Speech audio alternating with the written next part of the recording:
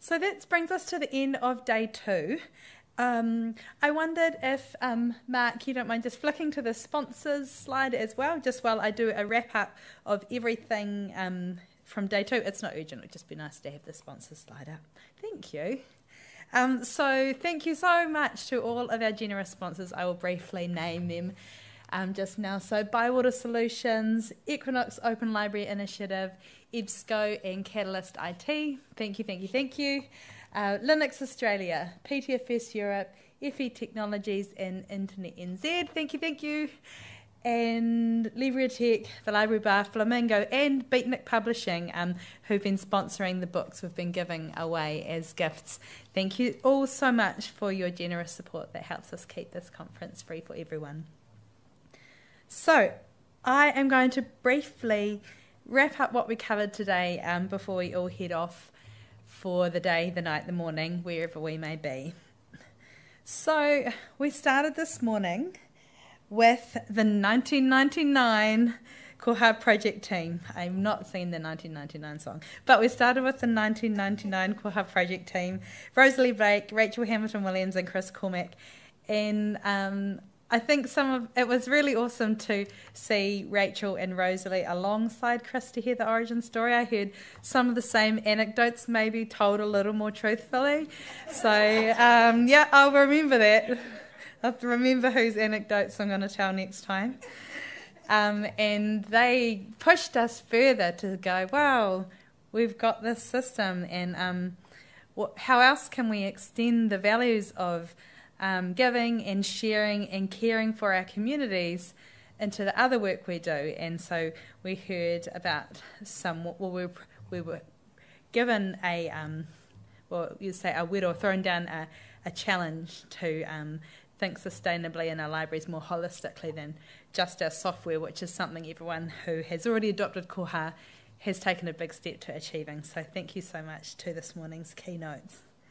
Um, we moved on to a recorded talk from Sonia Bouis, and I was really looking forward to hearing about how they had implemented the rules around the GDPR using Koha because it's something I had always thought I should know more about but never felt compelled to read about if I'm honest with myself. So I really appreciated Sonia's talk and I also really loved the way she managed to um, superimpose herself on some little scenes and we really got to feel um, her as a presenter as well as see where she is and um, what she's been working on. Uh, after that, we presented the KohaCon community video, which has been tweeted out from the N- at NZ Koha account. So if you missed the video, um, you can go and watch it. It's only a few minutes long, and is just a warm expression of some of from some of the Koha libraries and librarians around the world. Um, after morning tea, uh, we had heard from Caroline Cyr La Rose, uh, who talked about a catalogue that she has created for cataloguing Koha resources, in particular starting with plugins, um, but could potentially be ca- cataloguing all kinds of Koha resources that we could share. And, and Caroline um, would love to hear from any librarians that would be interested in helping the efforts towards cataloguing more stuff about Koha for us all to use as a community. Uh, following Caroline, we had a great um, sort of work. I don't know how she met. Well, I do. We all saw how Christina managed to do it. Christina Hübner um, gave us a presentation called "Stronger Through Integration," and without it being a presentation, managed to encourage us to write this wonderful list of um, ways that Koha is already stronger through integration, and ways that we would like it to be. Um, stronger or more integrated in the future. And um, I encourage you to take a look at the Padlet. If you watch Christina's presentation, there's a um, link to a Padlet online where we all um, jotted down some ideas, and that was from people both in the room and listening. So we can keep adding to that Padlet and thinking about those ideas for the future. Uh, following Christina, Sher Afzal Khan um, gave us a live presentation from Pakistan. It was four in the morning when he started, and it was absolutely wonderful to hear about his study um, on the perceptions of Koha in Pakistan and um, fascinating for us to hear what they are, and in some cases where they, they might be the flip side from what we know to um, how Koha is perceived in another place. I think it can only remind us that our experiences shape everything we do, and everything we know, and we can never assume that we know what we know because someone else experiences the exact same thing in an opposite way. So thank you, Sher Afzal Khan, for that. It was, um, it was wonderful.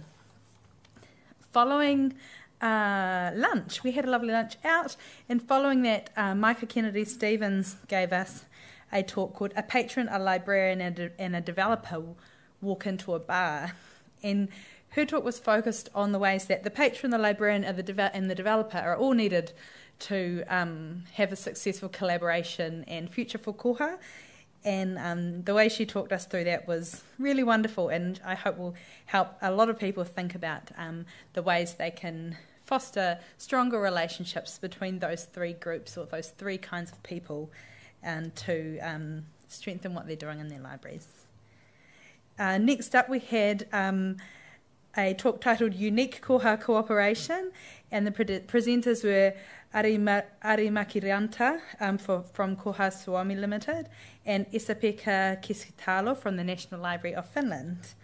Um, and we were all a bit gobsmacked here in New Zealand because the way they describe the, the consortia they are running and how they work together and keep in constant communication – and actually make change and just keep working towards a better experience and a better koha for all of their libraries was stunning. So everyone watch that one um, and then do some doing because sounds like they do they have some meetings and then they do the work. So um, yeah, we were all really impressed by what was presented and we thank you for that. Next up, we heard from Jessica Zara and Adam Brooks at Bywater Solutions um, around a topic. The title was Support Isn't Just Tickets Marketing to the Believers. And um, we uh, all know them from, from their YouTube content, from some of the other um, outreach they do, and they talked us through uh, their approach to marketing um, with their libraries um, or their partners, and how their partners then go on to tell those stories. Um, of their own successes and um, Koha's successes too. So that was lovely. Uh, then in New Zealand, we all broke for, we all had a break for afternoon tea um, and came back for the final two sessions of the day. So, second to last was a lightning talk from David Nind. Um, so, David is one of our documentation champions in the Koha community, and his um, talk was titled Working with Messy Data, and he took us through um, a very um, beginner's overview of Open Refine as a way that non developers can tidy up their data. So, um, thank you, David, for that. I think some people will be going and um, thinking about how they can do that, and perhaps some libraries who don't have the money to pay for someone else to migrate their data will consider using Open Refine to do that, to tidy up their data and import it into Koha.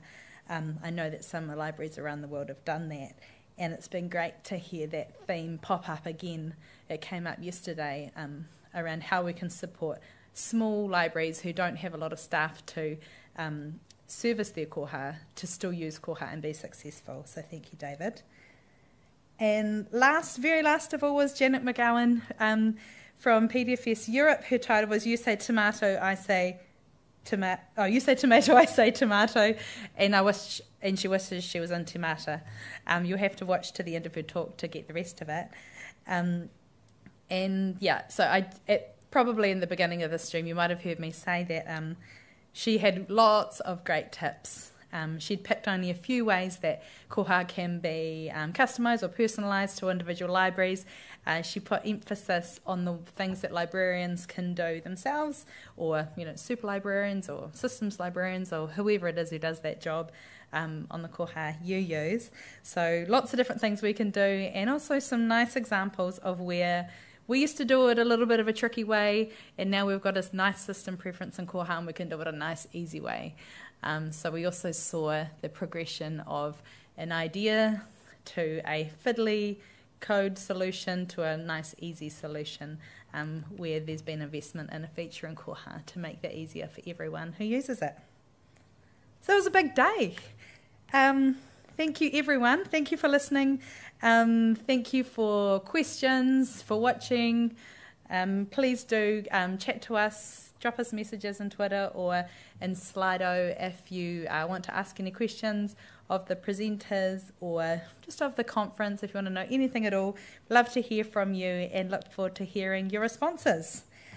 So we will be back here tomorrow, conference day three, the very last day. Uh, we'll be here in New Zealand at 9 a.m., starting with a keynote um, called Web Accessibility for Your Online Libraries. Um, he's an excellent presenter, Julius Serrano, first things tomorrow, talking about web accessibility, and I really encourage you to come, but also encourage some colleagues to um, watch that one because anyone who does anything on the internet should think about these topics. So please do share that one far and wide. So we'll see you back at nine tomorrow. Um, and just a couple of notes for those who are here on Wednesday for the day. I just like to encourage people um, to be, excuse me, moving away from the mic, to um, be here for the Koha Awards ceremony, which is at starting at 3.40 tomorrow. Especially if you've been working on the Koha project a very long time, um, would really like to see you there. So, um, so would really encourage people to be watching either online or in person for that tomorrow.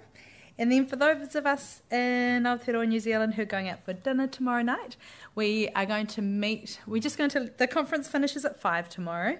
So we're going to just head off together at 5 o'clock and go and have a um, cocktail at the library bar, which the library bar sponsored us for. And then, um, so imagine we'll get there sometime from 5.30. The organisers might be a little later because we're packing up, but 5.45 maybe. Um, and then we'll head out to dinner from there. So we'll make sure everyone who's coming knows where we're going for dinner. We haven't organised that yet. We just have kept that cruisy, but we're looking forward to it. Okay, good night, everybody, and we'll see you back tomorrow. Ka kite.